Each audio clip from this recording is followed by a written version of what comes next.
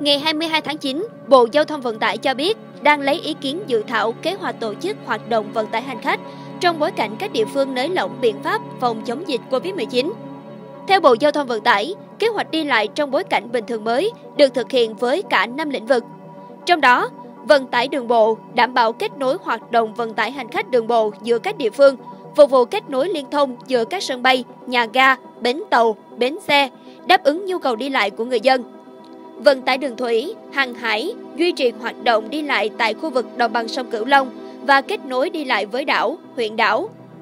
Vận tải hàng không duy trì hoạt động vận chuyển hàng không nội địa, thúc đẩy quá trình phục hồi kinh tế trong điều kiện đảm bảo công tác phòng chống dịch COVID-19.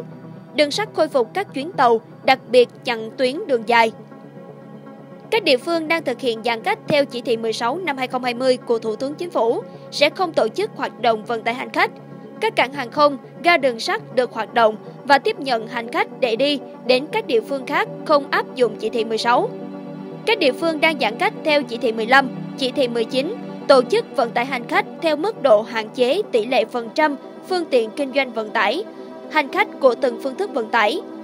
Các địa phương bình thường mới tổ chức vận tải hành khách hoạt động bình thường, chọn một trong hai phương án sau. Phương án 1 Hành khách khi đi trên phương tiện vận tải hành khách, đi đến địa phương hoặc địa bàn đang thực hiện giãn cách theo chỉ thị số 15, chỉ thị số 19, phải thực hiện nghiêm nguyên tắc 5K và quy định đối với người tham gia giao thông về phòng chống dịch COVID-19 của Bộ Y tế. Phương án 2 Hành khách khi đi trên phương tiện vận tải, khi đi đến địa phương hoặc địa bàn đang thực hiện giãn cách theo chỉ thị số 15, chỉ thị số 19, phải thực hiện nghiêm nguyên tắc 5K, đồng thời đáp ứng một trong các tiêu chí tiêm đủ liều vaccine, liều cuối trên 14 ngày và không quá 12 tháng, hoặc đã mắc và khỏi COVID-19, có chứng nhận âm tính SARS-CoV-2 real-time PCR hoặc test nhanh trong 72 giờ. Vận tải đường bộ Giám sát chặt bằng camera hành trình, lái xe, nhân viên phục vụ chỉ dừng đổ dọc đường đúng địa điểm, đồng thời phải tiêm đủ liều vaccine hoặc đã mắc khỏi bệnh COVID-19. Với người chưa tiêm hoặc đã tiêm một mũi, phải có xét nghiệm âm tính trong 3 ngày. Tần suất khai thác với xe buýt, taxi, xe hợp đồng, du lịch do Sở Giao thông Vận tải địa phương tham mưu, không quá 50% số người cho đến khi thực hiện bình thường mới.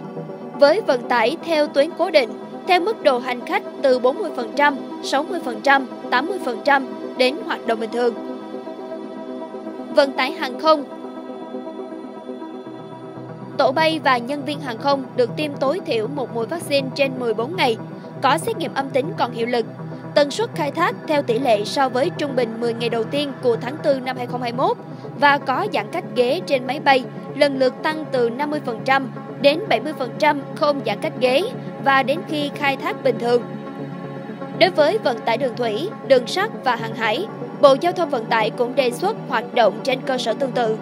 Báo Thanh niên sẽ tiếp tục cập nhật tình hình dịch bệnh COVID-19 trong các bản tin sau.